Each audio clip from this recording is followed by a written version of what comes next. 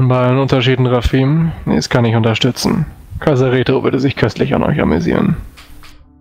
Aber solange der Großmeister hinter ihm steht, sind wir bereit zu sterben und zu töten. Aber das ist bei euch mit Sicherheit ähnlich, oder nicht? Oder darf die Panthergarde das nicht? Lasst mich euch. Äh, lasst lieber die guten Boltax. Er kannte sich schließlich persönlich euch von Bardo und Cella erzählen. Äh, ja, die waren etwas, naja, also, äh, aber ich würde doch viel eher, also Bardo und Cella. Ja, die ja. waren schlechte Herrscher. Und ja, so ja. geht die Geschichtsstunde los. Das dauert nämlich mindestens eine Stunde. Ja.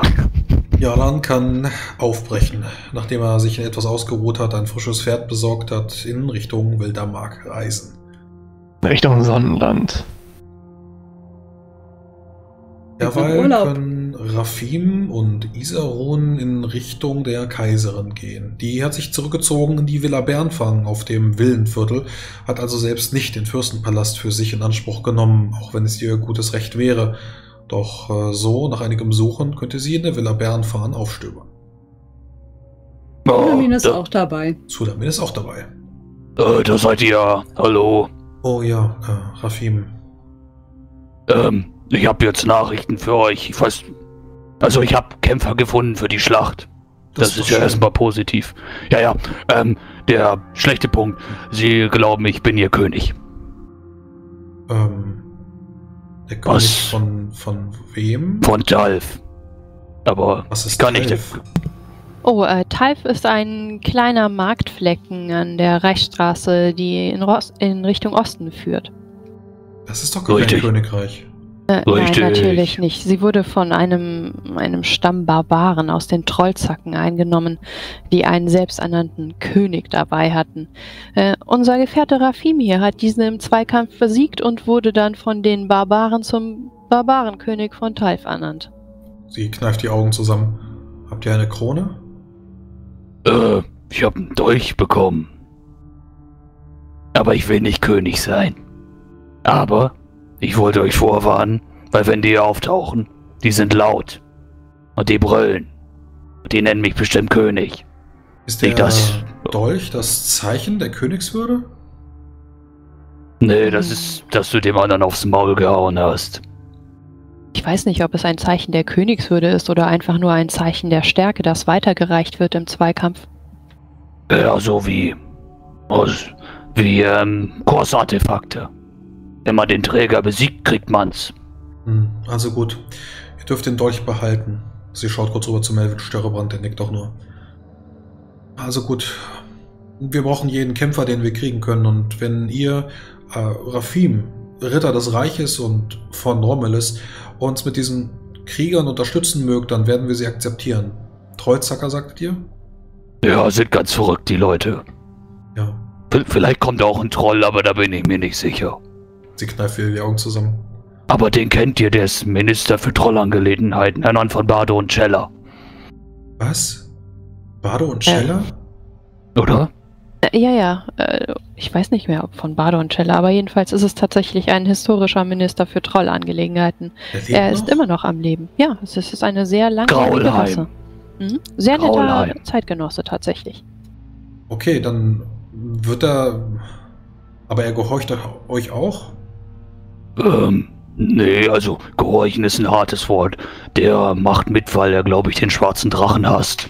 Richtig, die Trollzacker und auch die Trolle haben erzählt, dass sie diesen schwarzen Drachen bereits seit Jahrhunderten und Jahrtausenden kennen und äh, immer wieder bekämpft haben. Und sie werden sich auch diesem Kampf anschließen. Ist das diese riesige Gestalt, die wir im Wald gesehen haben? Äh, exakt diese. Ja, genau, der, riesengroß. Ja, ich erinnere mich, das war vor meiner. Als ich noch. Ja. Die, die Zeit war. damals. Ja, die Söldnerin. Schwierig. Genau. Ähm, Frage. Ja, wollte ich euch eigentlich auch gar nicht sagen. Äh, ihr schafft das schon. So, und jetzt können die beiden nun mit euch reden, weil die können das besser als ich. Ja, ähm, Rafim, ihr seid kein König, das wisst ihr, oder? König sein wird auch voll anstrengend. Ja, ist es. Und ich will nicht König sein. Gut, danke, dass ihr offen und ehrlich mit mir wart, Rafim. Ja, gerne. Ich bin gerne Rafim. Und ich bin gerne Chorgeweihter. Das solltet ihr mal probieren. wenn ihr Zeit habt. Ich halte es eher mit der Herren Rondra. Ach, das ist gar kein Problem. Wir kommen ja alle mal von der Herren Rondra. Also gut, Tsunamin, Isaron, was habt ihr mir zu beichten? Wir Ja, haben zu beichten euch. nicht. Äh, genau, Zulamin. Wir haben mh, über eure Sorge oder euer mögliches Problem beratschlagt. Die Magier und Geweihten. Und ähm, wir bringen gute Kunde. Ihr müsst euch in keinem Fall Sorgen machen, denn mh, die Raya-Kirche hütet ein Geheimnis, wie gegen Flüche vorzugehen ist. Deswegen möchten wir euch anbieten, dass wir nach der Schlacht einen, nun ja, großen Gottesdienst im Tempel abhalten und die Herren Raya bitten, mh, ein, di- diesen Fluch, sollte er überhaupt existieren, was nicht gewiss ist, von euren Schultern zu nehmen. Nun, Ihr braucht euch also keine weiteren Sorgen machen. der Fluch ist sowieso nicht möglich, weil ich schon eine Familie habe. Nun, seht ihr, solltet ihr euch dennoch Sorgen machen, wie gesagt, unser Angebot steht. Ihr dürft gerne nach der Schlacht darauf zurückkommen. Voltax und ich, äh, sowie der Drakoniter Asabo, werden uns nun auf den Weg zum Wasserfall etwas nördlich von hier machen. Wir wollen äh, mit einer Nymphe sprechen, um die Wunden des Hohen Vaters zu heilen. Die Ja, das ist gut. Fee nun, wir werden, sobald es möglich, äh, sobald es möglich ist, aufbrechen, denn der Hohe Vater leidet schon sehr lange darunter und wir wollen ihn, sobald es geht, befreien. Also gut, dann Rondra mit euch und Fex und die Götter, die ihr braucht. Und mit euch. Wir sehen uns bald wieder. Sulamin, du bist übrigens nicht ganz sicher, was sie damit sagte, als sie meinte, dass sie schon eine Familie hat. Denn eigentlich Hm. sind alle tot. Sulamin denkt sich, vielleicht liegt ihr doch mehr an diesem Bruder, auf den sie immer so schimpft, als sie sonst so zugibt. So könnt ihr eure Taschen packen. Abelmim möchte aufbrechen in Richtung von Answin, Genau, zusammen mit Arafim. zusammen mit Rafim. Ich hätte vorher vielleicht in der Zwischenzeit mal probiert, in Romlis einen Bohrengeweihten aufzutreiben, dass der sich um die Leiche der Fürst, ehemaligen Fürstin kümmert. Ja, du triffst äh, wieder auf die Golgarithin Marboria, die ihr schon kennengelernt hattet, vor allem beim Boron Anger, als sie den ja, Torwaller lebendig äh, in das Grab getreten hat, ihm die Zunge rausschnitt. Sie schaut dich finster an, wird die sterblichen Überreste von der Fürstin im Begunde übernehmen, eingewickelt in äh, Tücher, Seidenstoffe. Der Teppich wurde mittlerweile entfernt. Und mit einem Dank der Borenkirche wird sie für ein Begräbnis sorgen. Ich würde ihr nur zunicken, Schweigen bewahren und mich dann zu Rafim begeben. So bricht ihr auf. Kurze Zeit später auch Iseron, Zulamin und Boltax. Ja, ich wollte in der Akademie ja noch eine Sache nachschauen. Ja, Und zwar ein möglichst äh, guter Ort, um meine Herbeirufung dann durchzuführen, wenn es denn hart auf hart kommt und wir in die Schlacht mit dem Drachen ziehen. Also ich würde da einfach gucken, dass ich ähm, möglichst guten Ort auslote. Also Nochmal Karten wälzen, Bücher lesen. würfel aber mal eine Geografieprobe. Okay. Dein grobes Ziel hast du ja schon, wenn du im Hinterkopf hast, dass du den grauen Mann herbeirufen magst. Mhm. Irgendwo also entweder am Darpat, am Dergel, am Ochsenwasser. Ist schon Geografie hart, ist ein muss man bisschen- sagen. Wissenstalent, oder? Ja, ist es. Dann habe ich das nicht. Sagen und Legenden.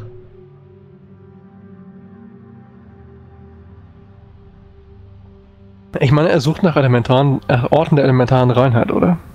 Das könnte man sicherlich auch auf Magiekunde ableiten. Oh, Sagen und Legenden passt doch. Könnte ich Boltax später auch unterstützen, wenn er mit mir über Sachen redet. Ich Ja, okay, aber die Probe, ist, die Probe ist locker flockig gelungen. Ja. Ja, ist mit einer Also Fünfer schön. ist. Karten wälzen. Und dann brecht ihr auf. Einen halben Tag in Richtung des Wasserfalls, dem größten Wasserfall von Aventurien.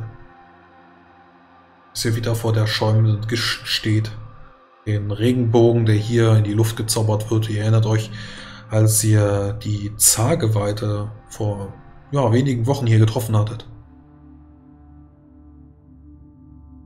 Oh, spürt ihr das? Äh, ja, es ist ein bisschen feucht. Ah, Wasser und Luft in elementarem Einklang. Es gibt wenige Orte. Ich mag es nicht. Hm.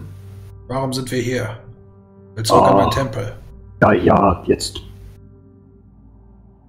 Wir gehen bald wieder zurück.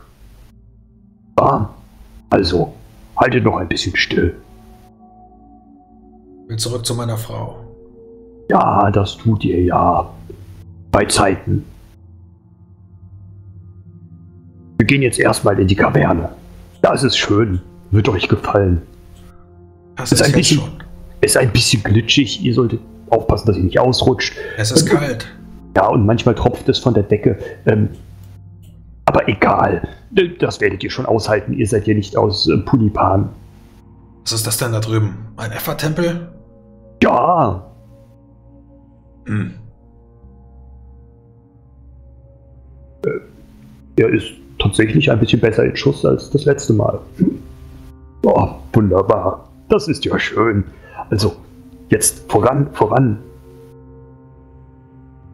Und hier soll jetzt eine Nymphe leben, Boltax? Wird das aber ja. fragen. Ja, sehr nett. Das letzte Mal haben wir sie, ähm, ähm, also ich habe sie ähm, vor Unheil bewahrt und gehe einmal schauen, ob ich sie finde. Ja, und ähm, dann würde ich ganz gemächlich hin zu diesem Bassin gehen, äh, in dem die Nymphe das letzte Mal zu finden war und mich ähm, mit meinen ähm, Füßen reinstellen, die Wasseroberfläche leicht berühren. Ich würde diesmal nicht untertauchen, ähm, weil ich denke, dass sie sich diesmal nicht zurückzieht ins Wasser, sondern durchaus auch daraus hervortreten kann. Und ähm, ich würde dann natürlich zum Sprechen trotzdem meinen Kopf unter Wasser tauchen und dann auf Ritual wieder sprechen. Genau. Ja. Hallo. Hallo. Na, ich wollte mal sehen, wie es dir geht. Gut. Oh, das freut mich zu hören. Das ist ja sehr schön. Nun, ähm, wir sind auch noch aus einem anderen Grund gekommen. Dieser, dieser äh, Halunke, der dir das damals angetan hat. Der fiese Schuft. Genau, dieser Sittenstrolch. Ähm, wir konnten ihn äh, vernichten. Also, du musst keine Angst mehr vor oh, ihm das haben. Das ist ja schön. Ja, das wollte ich dir sagen. Allerdings hat Magst er ein. Du spielen? Oh ja, gleich ein bisschen, aber zunächst sind wir wegen einer ernsteren Sache da. Ähm, er hat leider einen Freund von Sie mir wirft dir einen Ball aus Wasser zu und wenn du versuchst, ihn aufzufangen, äh, explodiert er in deiner Hand und du bist nass. oh, dann äh, spritze ich sie so ein bisschen mit ähm, Wasser nass. Oh, nimm das, nimm das. Aber, aber, siehst du diesen Mann da hinten? Er wurde von diesem gleichen äh, äh, Fiesling verletzt und wir wollen ergründen, wie wir ihm helfen können. Offensichtlich hat er doch mehr Schaden genommen als du. Er ist eben nicht so, naja. Was ist das für ein Wesen? Ich mag sie nicht. Jetzt sei doch mal ruhig. Was für ein oh. Stinkstiefel. Ja, ist er. Wirklich. Also davor war er sehr nett. Er hat uns schon einmal in seinem Tempel ähm, übernachten lassen, als die Drachentage waren. Also eigentlich ist er ganz nett, aber seitdem dieser Fiesling ihn erwischt hat, ist er so gereizt und unausstehlich, wie es sonst nur Jalan ist. Hm, naja, ist ja auch egal. Hey! Auf jeden Fall. Naja, ähm, könntest du vielleicht mit meiner guten Freundin da hinten reden und ihrem Freund.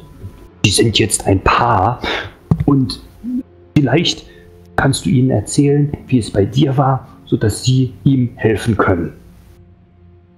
Ja, okay, aber sie müssen rankommen. Ja, äh, dann winke ich die beiden ran. Oh, die junge Dame würde jetzt gerne mit euch sprechen. Ah, sehr schön. Äh, müssen wir den Kopf unter Wasser tun? Nein, nein, kommt einfach ins Wasser hinein, zieht eure Stiefel aus, lasst vielleicht bis zu den Knien, lasst euch vom Wasser tragen. Ist das nicht kalt? Ja, aber jetzt boah, stellt euch nicht so an. Na gut, na gut. Ja, Isarun zieht dann ihre Stiefel aus, ihre Wollsocken aus. Das ist schließlich noch Firun. Ähm, nee, gar nicht. Ist Zar schon, ne? Mittlerweile nächster Monat. Mhm. Ja, und äh, starkst dann ein paar Schrittchen hinein ins Wasser. Ähm, sei gegrüßt, Aliola. Hallo, na? Wir hoffen, es geht dir gut. Wir sind gekommen, um etwas mehr darüber herauszufinden, wie du verletzt wurdest und wie du dich davon erholt hast. Ähm, das hier ist mein äh, sehr guter Freund Asavo. Er wird dir einige Fragen stellen. Okay, und so wird Asavo ein Zwiegespräch mit Aliola beginnen, herausfinden, wie sie verletzt worden ist und dann nach und nach den Hohen Vater dazu bitten, sodass er dann beide Hände, nachdem es ungefähr hm, eine Stunde gedauert hat, diese Unterhaltung, auf beide Parteien legen und dann mit dem Segen von Agelions Band der Hand beginnen. Dein Wirken, mächtige Göttin, liegt in und über dieser Welt und nur deines Auges, deines Geistes all durchdringen, sie in dieser Form erhält. Dein Wissen wandelt alles hin zum Guten, darum hältst du ewig Wacht. Nichts jedoch besteht in deinem Zorn und deiner Macht, Hesinde allweise, große Weberin, Marder, mondmächtige, Naklador, gewaltiger. Er schlägt dreimal die Zeichen der Göttin an den Ecken, gleichzeitige Dreiecke und beim Vollführen der Zeichen ruft er immer wieder Hesinde, allweise, große Weberin, Marder, mondmächtige, Naklador, gewaltiger. Ungefähr eine Stunde dauert es. Dann fällt die Griesgrämigkeit und der Fluch von Lolgramot von dem Travia Hochgeweihten ab. Ich würde das gerne austesten. Wenn ich denke, dass er wieder einigermaßen bei sich ist, würde ich gerne mal eine ähm, Handvoll Wasser nehmen und ihm direkt ins Gesicht spritzen und seine Reaktion darauf abwarten. Ach, das ist aber kalt. Bitte nicht. Nein, keine Sorge. Ihr habt den Test bestanden. Ihr habt nicht sofort kriesgrämig oder unwirsch reagiert. Ja, es tut mir leid, ich muss mich entschuldigen. Das war nicht ich. Ach, kein Problem. Aber können wir jetzt wirklich bitte zurück zu meiner Frau? Ich vermisse sie. Ja, natürlich. Wir bringen euch sofort wieder zurück. Hm. Ans warme Herdfeuer, ich glaube, Isaron und, und ihr seid ja auch durchnässt, dann stellen wir uns gemeinsam wieder in unseren schönen Tempel und dann, dann genießen wir die, die Zeit etwas am, am warmen Herdfeuer. Hm. Ja, was haltet ihr davon? Sehr Eine hervorragende gut. Idee, nicht wahr? Ja, durchaus, durchaus. Ähm, nur eine kleine Sache noch. Ich nehme nochmal einen kleinen Edelstein, einen weiteren Aquamarin, lasse ihn sanft in das Wasser gleiten. Hab Dank, hab Dank. Niemand antwortet. Während ihr den halben Tag zurückreisen könnt, werden Abelmir und Zulamin Zwerch erreichen. Und Rafim. Und Rafim. Als ihr im Gasthaus sitzt, könnt ihr dort erkennen, wie jemand sitzt, bereits drei, vier große Bierhumpen leer neben sich stehend. Albrax. Albrax. Ah, Abelmir. Mit euch hat man jetzt nicht gerechnet, ist aber das ist eine erfreulich. Äh, was, was tut ihr hier? Was soll ich hier tun? Wir reisen nach Obeles. Also, ich. Was macht Answin? Der sitzt ein bisschen im Norden von hier. Ich äh, sollte mitkommen. Äh, wir haben jetzt wohl, ja, äh, wir wollten einfach nur sagen, dass wir jetzt da sind. Und wenn es Hilfe gibt, dann, also, Answin will jetzt wohl rübersetzen mit Booten in den Rabenstein. Wir haben sein Faustpfand, wie er es wollte. Ausgezeichnet. Aber ich glaube, es ist auch gut, dass ich mit Roaya spreche. Nicht, dass sie denkt, wir, wir Zwerge kümmern uns um Politik oder sowas. Uns geht es nur darum, dass das Mittelreich und die, die, die Oberwelt, dass es ihnen gut geht. Mir ist egal, wer das regiert. Äh, ich will nur nicht, dass sie denkt, dass... Naja, ich mochte ihre Mutter. Und ihre Oma. Und, naja, wie sie alle heißen. Opa. Reto. Ja, alle. Und ihr? Ihr bringt jetzt, äh, wer bist du denn? Das, das, das ist der Hund der Alatissen. Und der Alatissen sagt Hallo. Guten Tag, Hochkönig. Ja, ich bin Albrax. Kannst du mich Albrax nennen? Ja. Er ist wohl ein guter Freund von Answin. Denn er wollte ihn unbedingt zurückhaben. Also bringen wir ihn ihm. Ah, ist gut. Wie, wie ein Geschenk. Ja. Macht ja gut. Er sitzt äh, die Straße hier nach oben. Äh, nicht direkt am äh, Ochsenwasser, aber äh, an den Zwercher Herzwäldern. Da sitzt er. Könnt ihr gar nicht verfehlen. Kurz vor Ochsenred. Äh, große Armee, da sitzt er. Wird die auf uns warten und mit uns nach Romney zurückkehren? Äh, ihr werdet sicherlich noch einen Tag hochreisen und ich werde einen Tag runterreisen. Vielleicht treffen wir uns ja hier wieder. Ich weiß nicht, wie lange ich in Romulus bleibe. Äh, wahrscheinlich länger. Also, meine Zwerge sind dann noch da, aber ich wollte erstmal mit äh, Rohaya sprechen. Ich habe wohl gehört, dass sie da ist. Ihr solltet etwas vorsichtiger mit ihr umgehen. Sie ist etwas tönern, könnte man sagen. Ach, Quatsch. Ihr Zustand, ihr geistiger Zustand ist nicht der beste, aber Seid, seid gnädig zu ihr. Aber mir, ich lebe 200 Jahre unter Menschen und du willst mir erzählen, dass ein Bier sowas nicht kurieren kann? Erzähl dir zu. Es ist keine Zwergin. Ja, wie ich schon sagte, ich habe 200 Jahre unter... Das war ein Witz, Abelmir. Du musst lachen, wenn du hochgeschrieben bist, war Abelmir. Ja, ich richtig, ich oh, Abelmir. Ich mochte dich schon in den Gärten nicht. Das wird nichts mehr mit uns. ja, hey, Rafim kann lachen. Lachen wie ein Seht großer. Ihr? Seht ihr? Das war ein Witz, verdammt! Aber Baby! Aber Mia, lach doch mal! Ja, sicherlich. Lache wie ein großer, Das ist sehr komisch. Guck ihn dir doch mal an! Er schüttelt ja. so ein bisschen äh, den Kopf, als Zulamin anfängt zu lachen. Den ersten hast du nicht verstanden, oder? Nein, oh, sie, ist, sie, sie ist noch neu dabei. Sie aber den zweiten! Noch. Ja. ähm, aber wenn du, wenn du ein Rommelis bist, Du äh, musst unbedingt zusammen mit Boltax uns das nochmal mit der Armbrust erklären. Mit zwei Zwergen wird das bestimmt noch interessanter. Oh, Boltax und die Armbrustgeschichte, ja, ja. Die, ja, hat, die hat er mir auch schon erzählt. That's ja, vielleicht kommen wir nochmal dazu. It. Geht einfach nur, dass du deinen Geist äh, auf Dinge lenkst, die, die dich uninteressant machen. Für Gedankenspielerei. Muss dich einfach konzentrieren, völlig egal an was du denkst. Na, ich glaube, das mit der Armbrust ist wichtig. Nein, frag meinen Bruder. Mein Bruder kann dir das noch besser erklären. Äh, ich kenne deinen Bruder nicht. Du ihn ja mal. Wer ist denn dein Bruder? Mein Bruder ist der Angrosch Hochgeweihte. Oh. Kann der so einen Vulkan machen? Ja, die größten Vulkane. Der oh. oberste Richter musst du wissen. Oh. Ja, den müssen wir mal besuchen. Das mit den Vulkanen, das erzählt Bortax immer. Das ist wirklich erstaunlich. Ah, Rambosch. Das war wunderschön. Ne? Mitten in der feindlichen Armee ist er aufgegangen.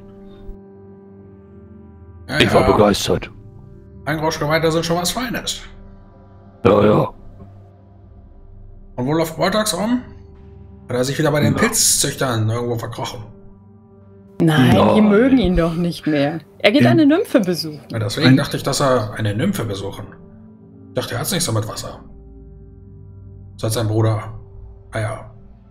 Was? Oh, das hat er ganz gut verarbeitet, denke ich. Was war mit seinem ja. Bruder? War das noch nicht erzählt oder mehr? Nein. Dann ist es auch keine Geschichte, die ich dir erzählen werde. Die ist nämlich nicht lustig. Nun gut. Bist du sicher, dass du das nicht weißt? Ja, vielleicht hat es dir auch nicht erzählt. Ja, gut. Also, äh, lasst uns noch ein paar Bierchen miteinander kippen. Und ich werde von hier aus nach Süden und ihr nach Norden. Und äh, vor Ochsenried liegt dann an.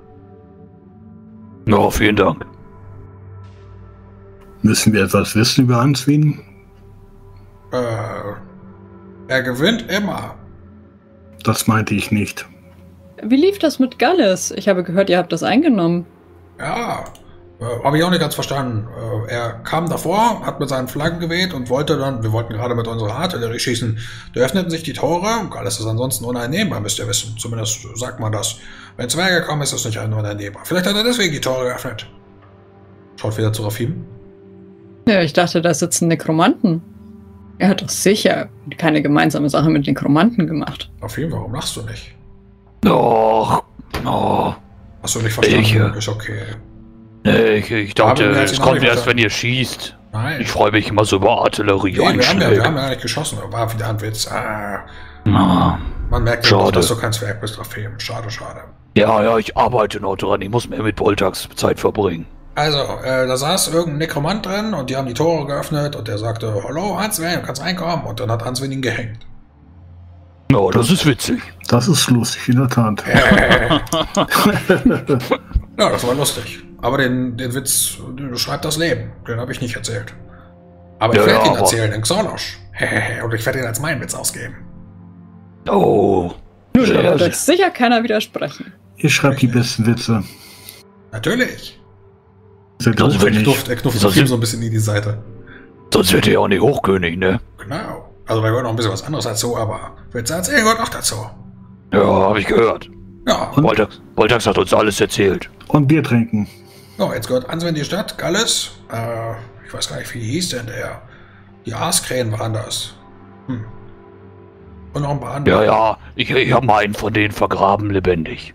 Ja. Das, das ist, sind irgendwie so Totenbeschwörer. Keine guten Leute. Nee, richtig. Naja. Aber ihr habt eine riesen Schlacht verpasst.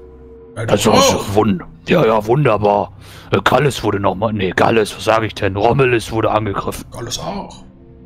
Ja, ja, wir haben mal das Modeus von Andergast, kennt ihr den? Äh, bestimmt schon mal gehört. Klingt alle Aber- gleich mit den Namen. Aber mir erklärt doch noch mal eben, wer das war. Ich habe auch keine Ahnung. Menschennamen klingen alle gleich. Es war ein Paktierer. Bin froh, Nee, dass das ich mir den Namen. Abel mir merken kann. Da bin ich auch froh. Raffi hat ihn verstanden. Diesen Ja. Namen würde ich niemals vergessen. Ja, und ähm, jetzt ist er tot. Das ist ist gut. Ja. gut. Und dann habe ich seinen Kopf durch die Straßen getragen und seine Leute haben sich trotzdem nicht ergeben. Arschlöcher. Ja. Frech. Aber guck mal, Mira ist jetzt genauso groß wie ihr. Also noch nicht ganz, aber Ja, gut. Ja, nicht schlecht. äh, ihr solltet euch einen Reitbären besorgen. Äh, die passen so schlecht in die Stollen.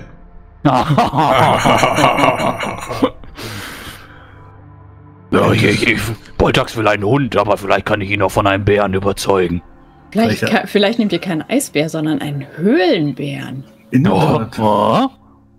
Das ist eine gute Idee.